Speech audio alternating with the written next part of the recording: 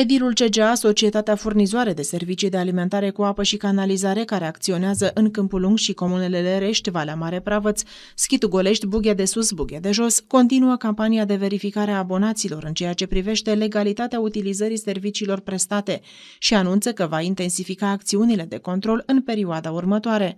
Acțiunea vine după ce în ultima perioadă au fost cazuri tot mai multe de sustrageri de apă din rețeaua publică administrată. Societatea atrage atenția că furtul de apă din sistemul public de alimentare cu apă constituie infracțiune în domeniul serviciilor de utilități publice și se pedepsește potrivit prevederilor codului penal.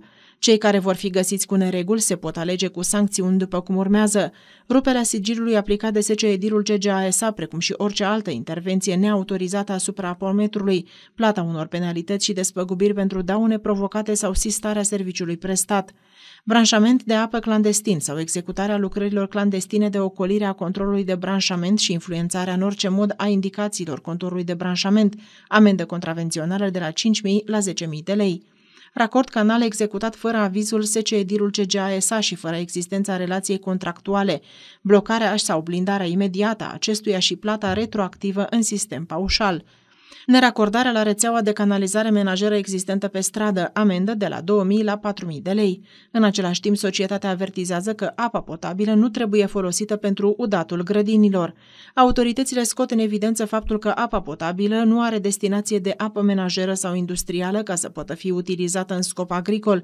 În cazul unui consum peste cel dimensionat prin proiectare, se poate ajunge la perturbări ale furnizării pentru ultimii consumatori ai sistemului de alimentare cu apă, în special pentru cei aflați în zone mai înalte. Utilizarea apei potabile pentru udatul grădinilor sau a spațiilor verzi constituie contravenție și se sancționează cu amendă.